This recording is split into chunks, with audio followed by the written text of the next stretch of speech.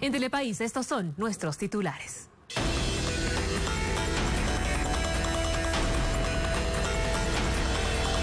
Recurso rechazado. El Tribunal Constitucional revoca la acción popular presentada por el defensor del pueblo contra las protestas de los médicos.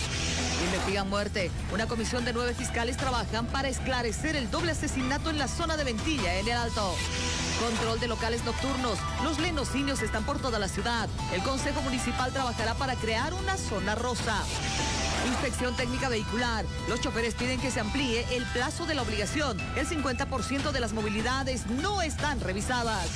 Nuevo Código Penal. La Comisión de Justicia Plural concluye en tiempo récord el tratamiento en detalle del proyecto de ley.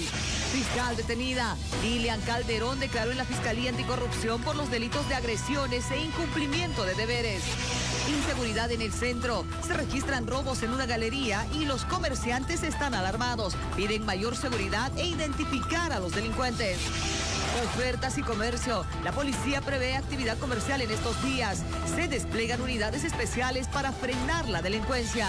Panorama internacional.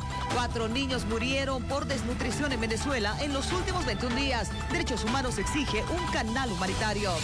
Lucha por vivir. El mexicano Juan Pedro Franco Salas, el hombre más obeso del mundo, perdió 175 kilos con una dieta especial.